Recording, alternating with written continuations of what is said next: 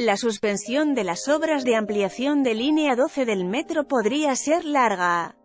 Aunque todo depende de que Tan pronto el consorcio constructor presente su programa interno de protección civil, la construcción podría estar detenida hasta por 20 días. En entrevista con El Sol de México la alcaldesa de Álvaro Obregón, Laida Sansores, apuntó que una vez que las constructoras presenten el programa interno de protección civil y sus respectivos términos de referencia, vendrá un análisis por parte de la alcaldía, si aparece la empresa con su programa se pueden quitar los sellos pero no va a ser tan rápido como hubiésemos querido porque no lo tenían. Esa es la verdad, dijo desde la colonia Primera Victoria, donde está una de las seis lumbreras que fueron suspendidas, dijeron que hoy, ayer, en la tarde nos lo iban a llevar pero...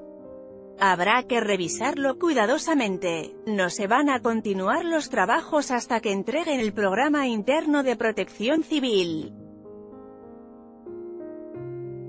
Remarcó Sansores San Román. ¿Cuántos días puede quedar suspendida la obra? Se le cuestionó, a lo que respondió, puede llegar a 20 días, no queremos eso, depende de la empresa y que lo hagan bien porque no vamos a solapar irregularidades, en un recorrido por la zona este diario confirmó que los trabajos de ampliación de la línea 12 están detenidos.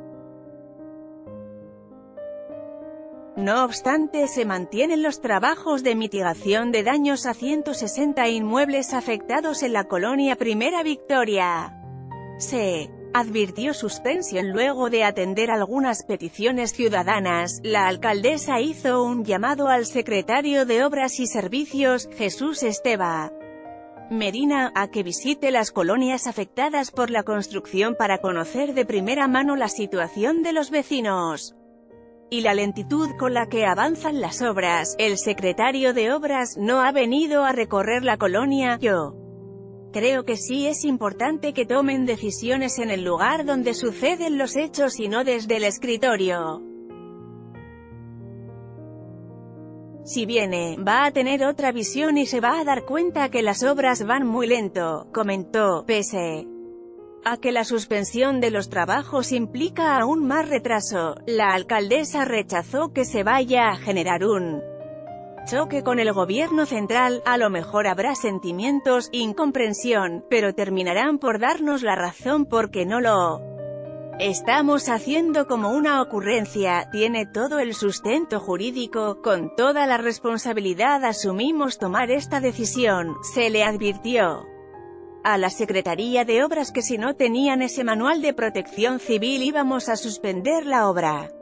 Creo que no nos creyeron. Yo les dije, no amenazo, si se los digo es porque lo voy a hacer. Nos dijeron que lo iban a localizar, el documento, y nunca se presentó, entonces no dudé. No fue una sorpresa había. Advertencia, enfatizó.